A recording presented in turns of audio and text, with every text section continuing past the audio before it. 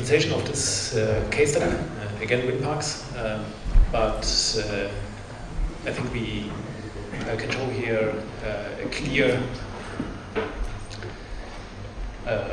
yeah, well, to show the principle, a clear example of, of, of the principles we are working with. This goes back to the joint publication between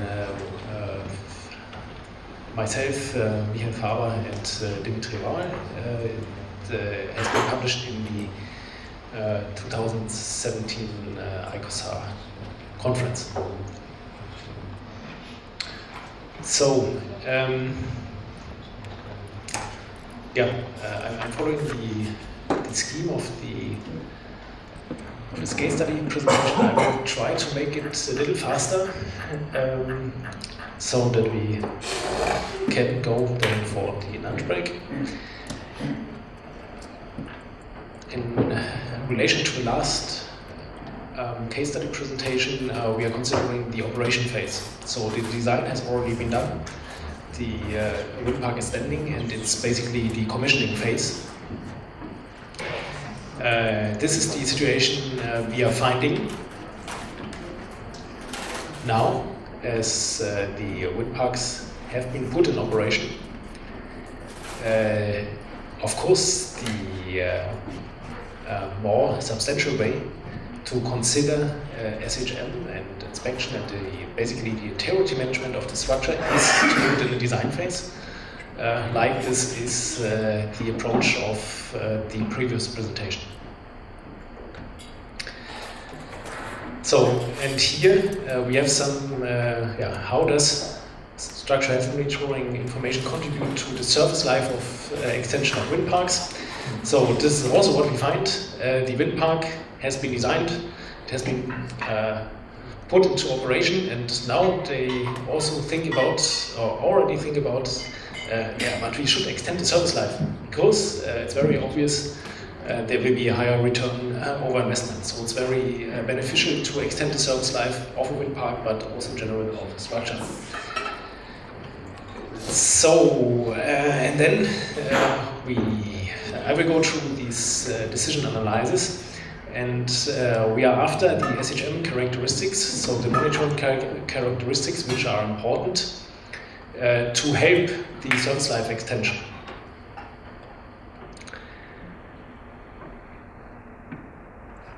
And this is done uh, by by the value of information. And it is the perspective uh, that uh, where we usually our decision analysis is very complex. And as I said in uh, one of the last uh, presentations, um, we need to find the right level uh, of, of detail here uh, and if we cannot incorporate uh, very, very sophisticated models in this decision analysis, then we need an interface. And here, uh, the result is basically an interface to more to the basic characteristics of, uh, of SHM we need for the service life uh, extension of wind parks.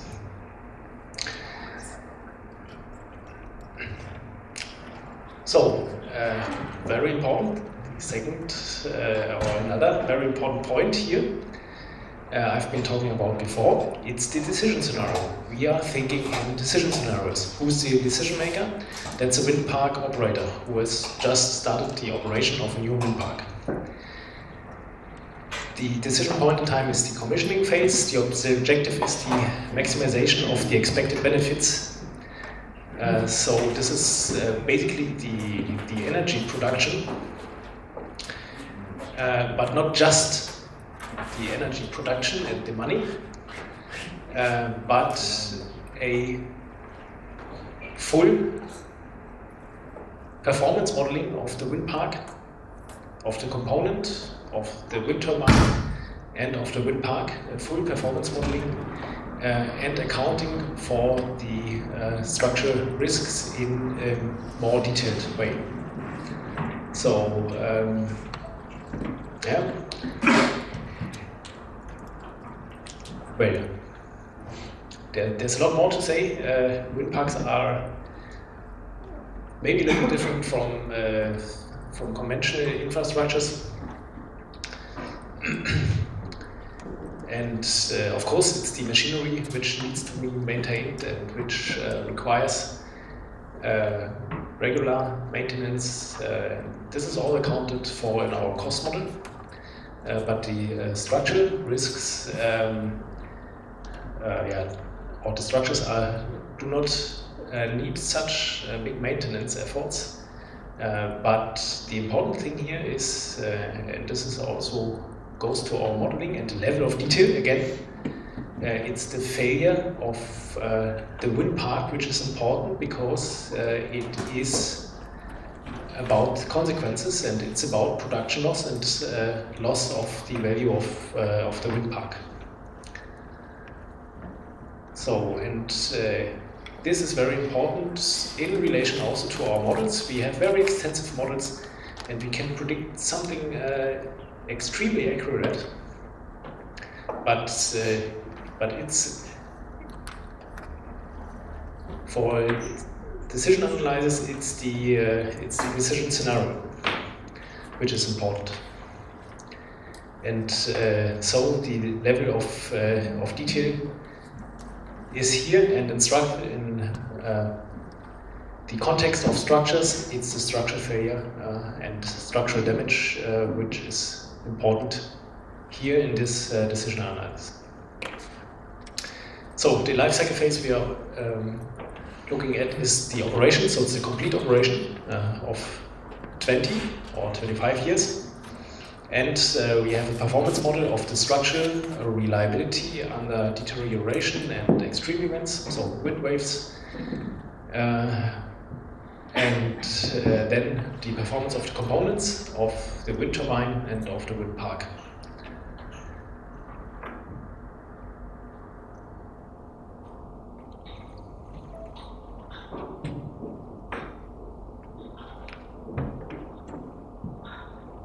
I think I will uh, I will skip this. Uh, this is our decision scenario. We have general formulation of the decision scenario. We have been uh, talking about this. Maybe also not the specifics of our value of information analysis, but maybe let's have a look here.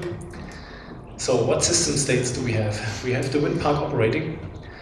We have a component damage. Uh, we have a component failure which may lead uh, the component damage here to wind turbine damage and to wind park damage. And the, the damage may also lead then from wind park damage to wind park failure or from uh, wind turbine damage to wind turbine failure. And uh, so this is all interconnected. Now we have such a, a model and um, again models. Uh, yeah, uh, we can very uh, we can have extremely sophisticated model here of of this wind turbine to predict fatigue stresses. I've been doing volume elements on tripod foundations, for instance. Um, but uh, this may not be so decisive here. Uh, and it only gives uh, a prediction a very limited prediction. But this model is, uh, is having all the system states of uh, component, wind turbine level, wind park level, first and second over the uh, complete operation phase. Yeah? This is the models we need. Or this is the uh, models we use in the decision analysis, which should have a clear connection and an interface to the uh, refined engineering models.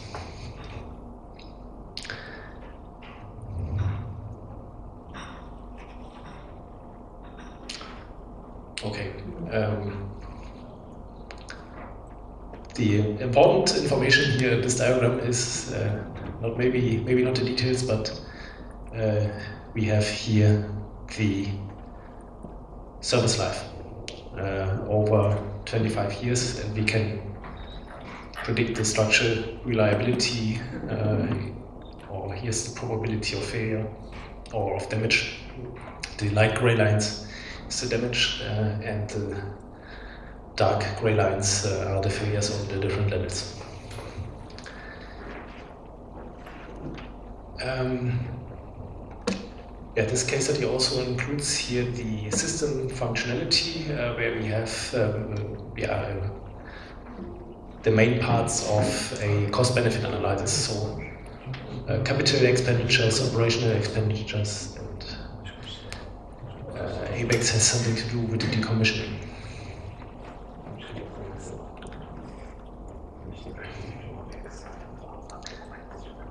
So, and then uh, we, uh, maybe this slide is uh, also important. So what is the interface to our structural health monitoring information, our information at all uh, levels from uh, what we can gain from the structure? So um, it's uh, the information, this is the interface, it's characterized by the type of the information, the precision, this goes to the uncertainties and the costs we need uh, for each uh, SHM strategy uh, basically these characteristics to be feed in, in our decision analysis. And then we have been looking at three different strategies. One is um, fatigue loading on uh, wind turbine level, on fatigue loading load uh, monitoring, on component level. Uh, so this is a hotspot measuring uh, basically, and here we solely look on extreme load monitoring, so extreme wind, extreme waves, uh, and this is uh, fatigue waves uh, and fatigue wind, or well, or let's say better to say here fatigue induced by wind and waves, and here the same.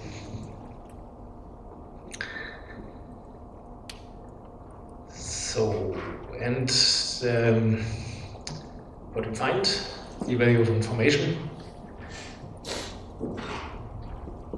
is uh, that uh, the component load monitor, loading monitoring, uh, where we measure the fatigue um, uh, strains here, or the hotspot monitoring, where we are measuring directly at, at the hotspot, over the complete service life, uh, this was the assumption here, then uh, this leads to a value of information of uh, 27 or 33 percent.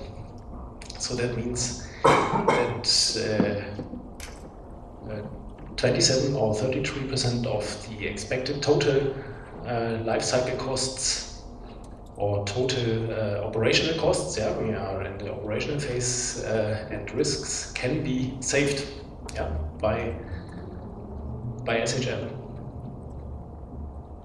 And uh, we find also that the uh, uh, if we just uh, monitoring the loading on the wind turbine, uh, this does not provide a value of information.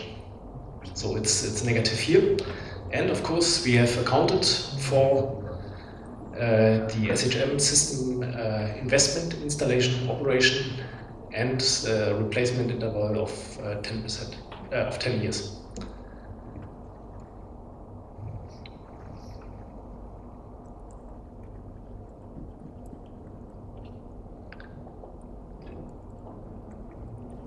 So the conclusions of this uh, case study is that the uh, wind park service life extension is not optimal without SHM, uh, and the reason is because the structural risks are simply too high um, and we need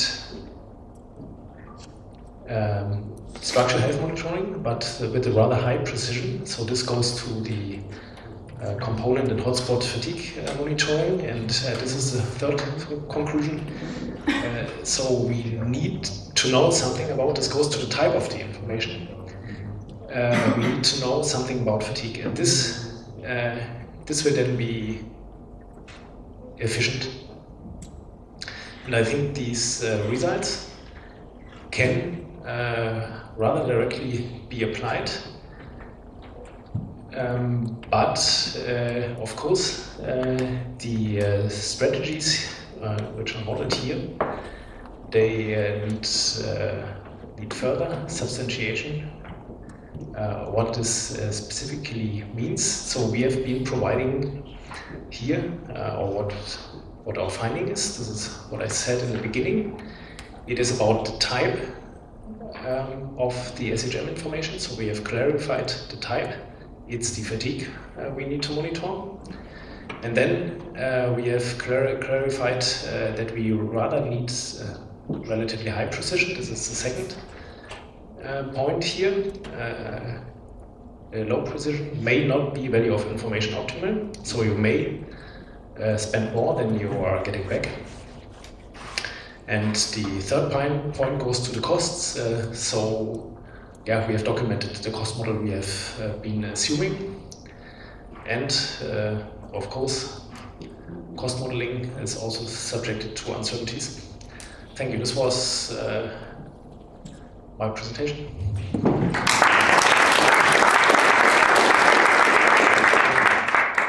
Thanks. Uh, just a few comments, questions before we go to lunch. Yeah. Yeah, I, looking at uh, your slide there, uh, I, I, can understand that quite, quite reasonable that uh, for uh, maintenance purposes uh, and uh, added life of an existing structure, you do not need to monitor the wind turbine loading specifically. But if you look at the biggest uncertainties concerning the design of the wind turbine. It involves the wind turbine loading. So, uh, and, and, there is uh, a lot of research, and for instance, your colleagues at DTU, there's a, a big uh, operation there that lives on uh, uh, studying uh, wind action on, on wind turbines. And so it would be very valuable for them to get a information from a wind park like this, uh, the, the wind turbine loading part, even though it does not uh, uh, yeah. directly affect the, uh, the life of the existing structure. Yes, yes, yes. Uh, I think this is a very good point uh, that we need to feedback yeah. from our SHM measurements to the design. Hmm. Yeah, yeah. I think this is a continuous effort. when we look at the development phase uh, when first the first offshore uh, wind turbines were developed. And then there were studies uh, on how to calculate it, uh, and they had measurements. And with these measurements, then they decided uh, for which uh, yeah, which modeling type and the design phase is appropriate, and that, that's a time domain due to the dominance of uh, uncertainties regarding the aerodynamics um, and also um, yeah, also the structural part, the soil structure interaction. So this is only uh, can only be captured with time series analysis, not like we have for conventional uh, structures where it can be analyzed in the frequency domain. This is mainly linearly. So it's a continuous uh, effort. Uh, it has been there from the very beginning. But uh, of course, yeah, this is an important point. Thanks.